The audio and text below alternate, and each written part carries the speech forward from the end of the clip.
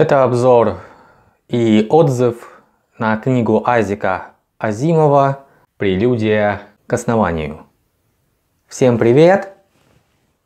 Меня зовут Дмитрий.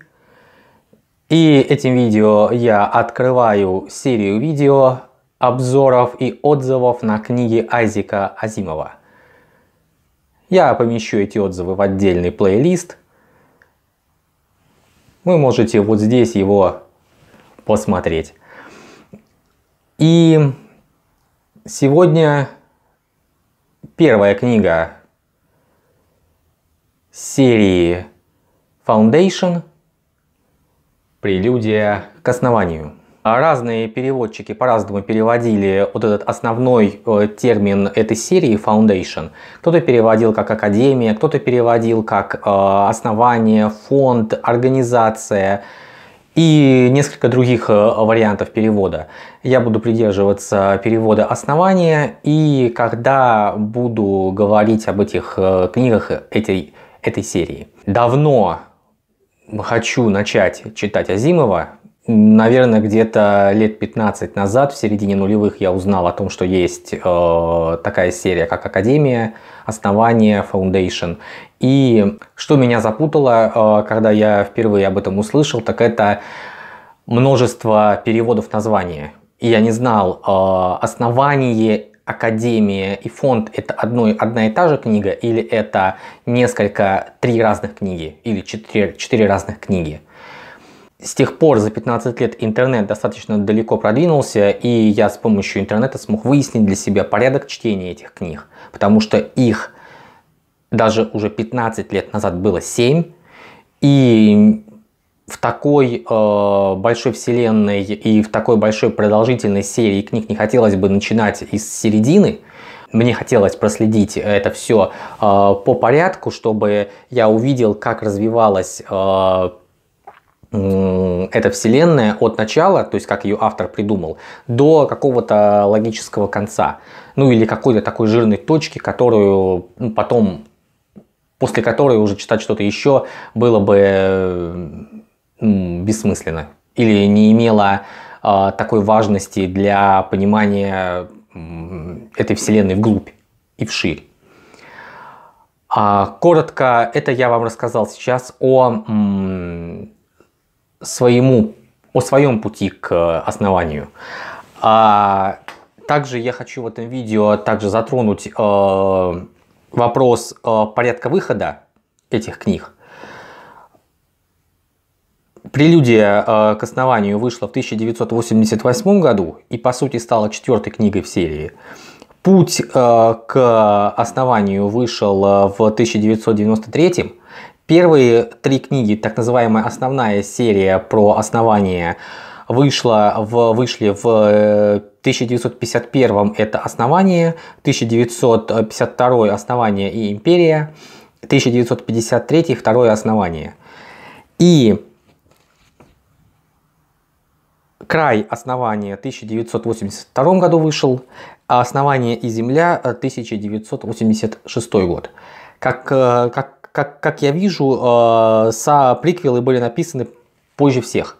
Но именно эти приквелы дают понимание о том, как зародилось э, основание, кто ее автор, почему он э, начал э, эту работу и э, каким образом эта работа развивалась и была э, завершена.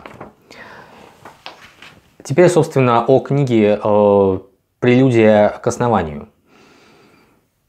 Книга начинается с того, что на центральную планету галактической империи Трантор да, наверное, опять я буду делать какие-то замечания по ходу рассказа. А, я буду произносить название так, а, как мне удобнее. Понятно, что на английском языке пишется как Трантор. Если переводить, а, переозвучивать на русский язык, то, скорее всего, это будет Трентор. И в некоторых э, переводах я встречал именно такую трактовку. Э, кроме того, есть разночтение между э, переводами э, земель э, провинции Трантора. Например, некоторые переводят Дахл, некоторые переводят Даль. некоторые говорят, что это Вия, а некоторые говорят, что, что это Сетчем. Я постараюсь э, как-то придерживаться в своих, э, в своих э, обзорах единого, единого наименования или же вообще не упоминать планеты, если, это, если в этом нет крайней необходимости. Гарри Селдон, молодой ученый, даже по современным меркам 32 года это молодой ученый считается. Он одновременно и историк, и математик. И он прежде всего математик, который интересуется историей. И он прибывает с одной из отдаленных планет Галактической империи на центральную планету, столицу империи Трантор. Трантор э, это такое э, административное образование, на котором, в котором власть императора совершенно не имеет никакой власти. То есть император, который властитель э, империи, он не управляет Трантором. Трантором управляют какие-то мэры э, секторов Трантора, э, потому что Трантор это так сложилось, что за время его существования, за время тысячелетия его существования он был покрыт э, специальными куполами, потому что культивация земель, вырубка лесов, э, выращивание овощей фруктов, техногенная цивилизация довели эту планету до такого состояния, что на поверхности стало невозможно жить. И э, поэтому поверхность вся была, практически вся, кроме императорского сектора, была закрыта куполами. В этих куполах поддерживается искусственное освещение, искусственная атмосфера, искусственная смена дня и ночи. Соответственно, создаются все условия для того, чтобы люди жили комфортно. Есть сектора, которые обеспечивают э, другие сектора э, планеты едой. Сектора, которые обеспечивают э, другие сектора планеты теплом. То есть э, это сектора, где добывают уголь, где добывают э, какие-то ископаемые, какие ископаемые топлива и так далее. Есть сектора, которые имеют большой политический вес э, на Транторе. И вот в такую о, мешанину противоречий прибывает э, Гарри Селдон. А, Гарри Селдон, который, э, у которого есть важное сообщение для императора. Он считает, что это сообщение настолько важное, что он э, прибывает как турист и э, записывается на прием к императору, а э, не как турист, я оговорился, он прибывает на математический конгресс и делает свой доклад о том, что э, дни империи сочтены. И что его наука, только, только лишь наука психоистория, которую он разрабатывает, может э, спасти империю. И что развал э, существующей империи и создание новой империи между этими, э, э, между этими двумя событиями пройдет не 30 тысяч лет, при обычном течении, при обычном течении времени, а всего лишь тысяча лет, то есть намного меньше, в 30 раз меньше. Но для этого нужно развивать психоисторию и сделать э, некоторые шаги, которые он предлагает которые он мог, может и предложить в том случае, если эта наука будет развита. И математический аппарат позволит э, создать э, стройную и э, предсказательную концепцию для того, чтобы предсказать, что будет. А, далее начинаются просто фантастические какие-то события с этим человеком. А, я не буду дальше пересказывать содержание книги, а, потому что это не всем нравятся спойлеры до чтения, но я вам рекомендую. То есть вот эти обзоры, которые я смотрел на английском, они используют такие слова, как fascinated и amazing. То есть на русском это увлекательно и великолепно. Я могу сказать, что да, это увлекательное чтение. А, первую книгу я практически прочитал за 4 дня. Это, наверное, мой э, личный рекорд. Чтение э, фантасти фантастической художественной литературы. 300 страниц за 4 дня. Э, это очень быстро э, для меня. Потому что события таким образом развиваются, они накладываются одно на другое и складываются в такой комок, когда уже под конец открывается одна из самых главных тайн а, этой книги, а, одна из самых главных тайн даже не этой книги, а всей галактики, всей Вселенной, И к этому автор подводит очень-очень методично, очень умело, очень, э, скажем так, используя весь свой э, авторский опыт, который он накопил за полвека своей творческой карьеры. Э, писав, э, написав еще много, много других десятков книг. И э, когда мне открывается эта тайна, я себе задаю вопрос, а как же так? Почему я не догадался, хотя все данные автор дал для того, чтобы догадаться и ответить на вопрос, почему так. И ответить на вопрос, что это, да, вот эта тайна решается именно таким образом.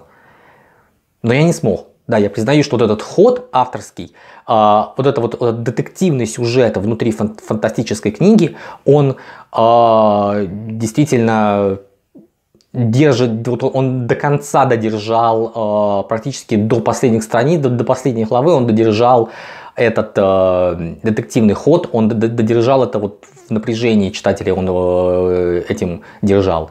И э, кроме этого, в книге э, автор показывает, как э, как можно действовать, когда недостаток информации – что вот э, первый, первый шаг в недостатке информации – это ее поиск. Этот, этот Гарри Селдон, он отправляется по разным секторам искать ответы на свои вопросы.